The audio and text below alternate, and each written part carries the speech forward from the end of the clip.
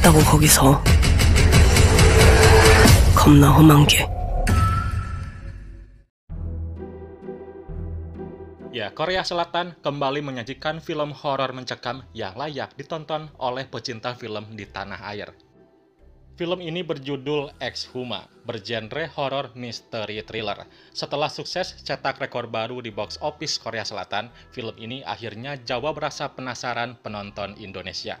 Selain bertabur bintang, film ini juga menyuguhkan cerita yang menarik tentang okultisme. Oke, okay, let's talk about it. Di video kali ini gue akan review film Ex Huma. Tapi sebelum masuk ke reviewnya, kalian simak dulu sinopsis film yang satu ini.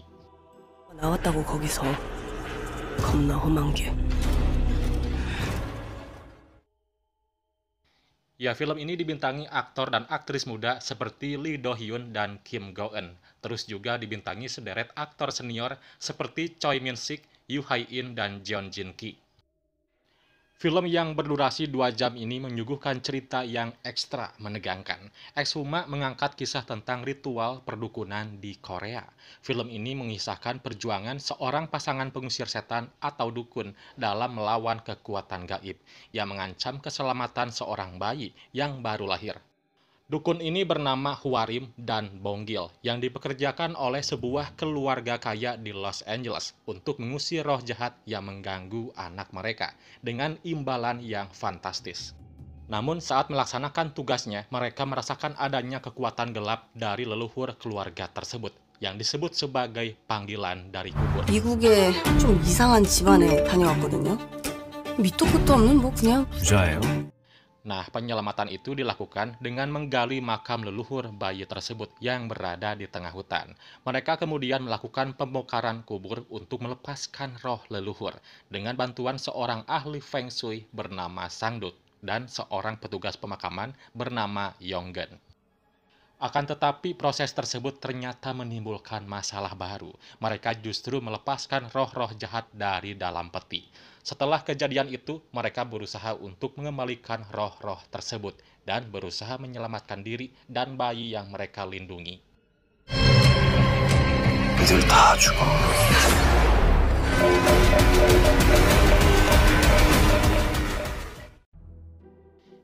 Ya, sebuah rekor yang jarang terjadi di Korea Selatan belakangan ini. Film Ex Huma berhasil memikat para penonton sebanyak 2 juta dalam 4 hari.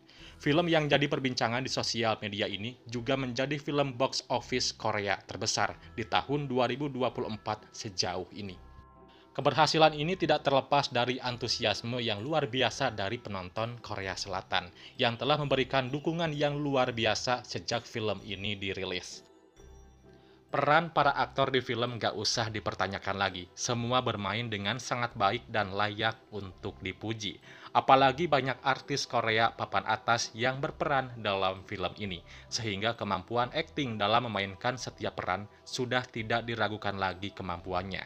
Setiap pemain mampu memerankan karakternya masing-masing dengan sangat baik.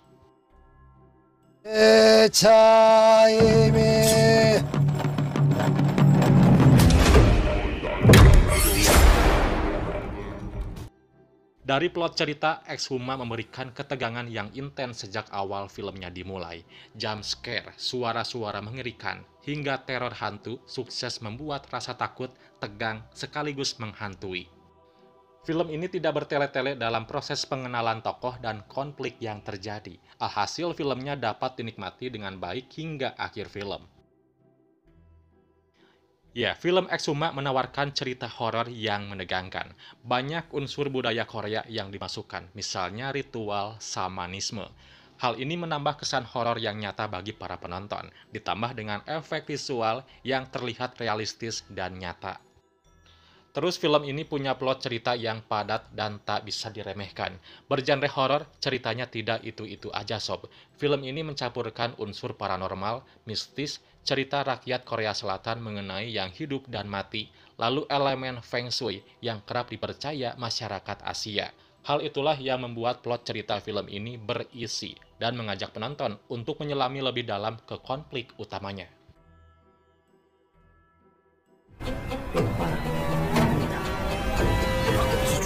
악질한 말이다.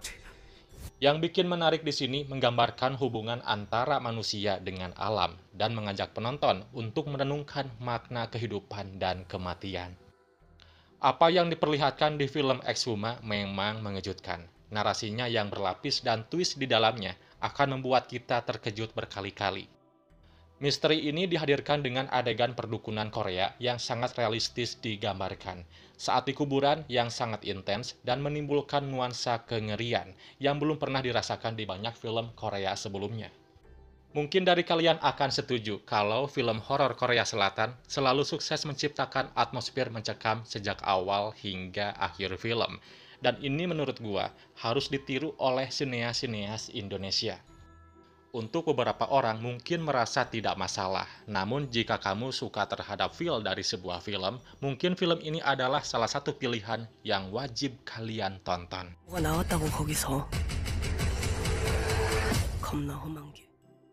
Film ini sudah tayang di bioskop, kalau penasaran silahkan pesan tiketnya sekarang juga.